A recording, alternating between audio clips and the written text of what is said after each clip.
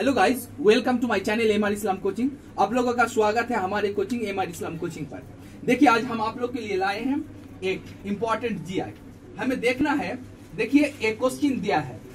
एक क्वेश्चन पर, देखिए, एक सर्कल है। सर्कल में देखिए seven eight three forty four and then S sign हमें देखना है कैसे सोल्व किया जाता है। देखिए देखिए, आप लोग कोशिश कीजिए कि इसे कैसे सोल्व किया जाता है। देखिए, यहाँ पर सात है, आठ है, फिर तीन सौ चवालीस है, और यहाँ पर अस्क साइन है। यहाँ देखिए option option A three forty five option B five hundred thirteen option C five hundred twelve option D three hundred forty six एक कैसे सोल्व किया जाएगा? तो देखिए, यहाँ पर हम लोगों को प्रैक्टिस करना है सेवन से थ्री फोर्टी फोर कैसे आया? तो सेवन से थ्री फोर्टी फोर कैसे आया?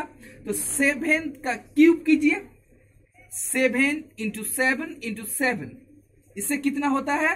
थ्री फोर्टी थ्री अब इसके साथ एक ऐड कीजिए, तब हो जाएगा थ्री फोर्टी फोर इसका मतलब सेवन का क्यूब करने से हो जाता है three forty four three forty three और उसके साथ एक ऐड करने से हो जाता है थ्री फोर्टी फोर अब देखना है कि आठ का क्यूब करना है तब।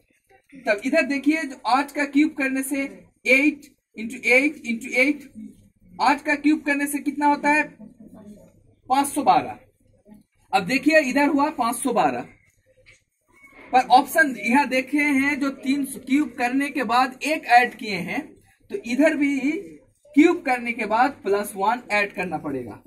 तो इधर जब एक ऐड किए तो इधर हो गया पाँच सौ तेरह।